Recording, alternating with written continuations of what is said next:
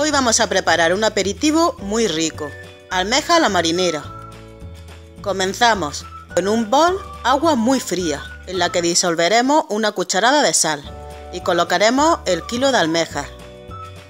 Lo dejaremos reposar durante mínimo media hora para que suelte la arena y la impureza.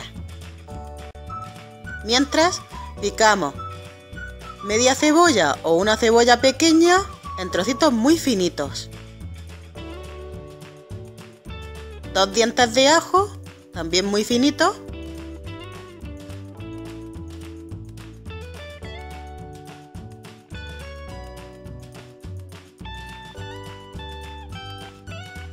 Y los sofreiremos en una sartén con unas 3 o 4 cucharadas de aceite.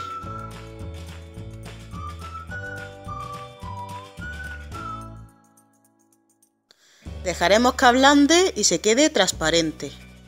Entonces será el momento de añadir una o media cayena opcionalmente. A mí me gusta ese toque de picor.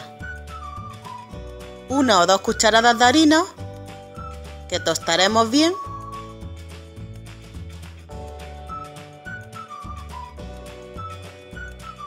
Y el vaso de vino.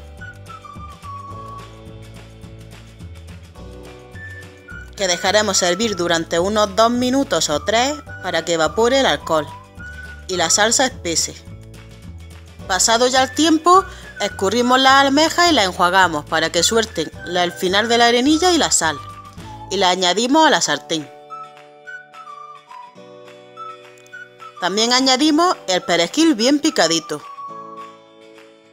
Mezclamos y taparemos. Dejaremos cocinar durante unos 10 minutos para que se abran las almejas. Y mirad el resultado. Una salsa espesita y están riquísimas. Ya solo queda emplatar y consumir cuando aún estén bien calientes. Como veis es un entrante muy rápido y está riquísimo. Espero que os guste. Recordad suscribiros al canal, dar me gusta y mandarme una foto si lo hacéis.